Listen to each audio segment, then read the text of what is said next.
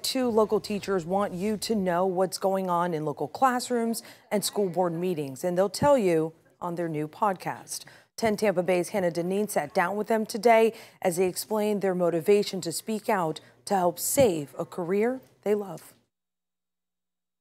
I'm hoping to inform the public about what's really going on in schools. Frustrated by crowded classrooms, low pay, and new laws limiting what and how they may teach. What's going on in Tallahassee is driving me insane, and I can't. It, I've like lost sleep over this. Two St. Petersburg high school teachers, Brennan Pickett and Philip Belcastro, picked up microphones in January to record their experiences for a podcast. They call it PCTA FYRE it is that mentality of what do I have left to lose? Their goal to share firsthand insight into educating in Florida, working for their dozens of bosses or students. The people who are in Tallahassee who don't see the boss every day, they're making decisions on such a micro level that it's, it's important for me to make sure everybody knows what the effects of those decisions are. A frequent guest on the podcast is AP chemistry teacher Dr. Anna Margiotta, who is trans and uses they them pronouns. They hope exposure through the podcast will help alleviate fears. I know about my own credentials and I know I'm a good teacher and I know that my students love me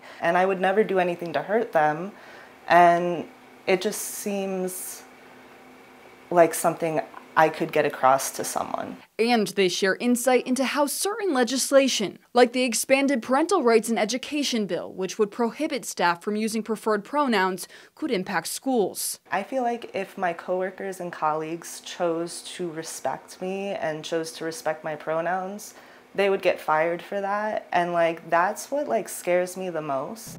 Thanks again for listening. No uh, topic off limits if they feel their voices can help make schools better for teachers and students. In St. Petersburg, Hannah Deneen, 10 Tampa Bay. You can find PCTA FYRE, that's FYRE with a Y, which stands for Pinellas Classrooms Teachers Association, Florida's Young Remarkable Educators, on Spotify or through a link on 10tampabay.com.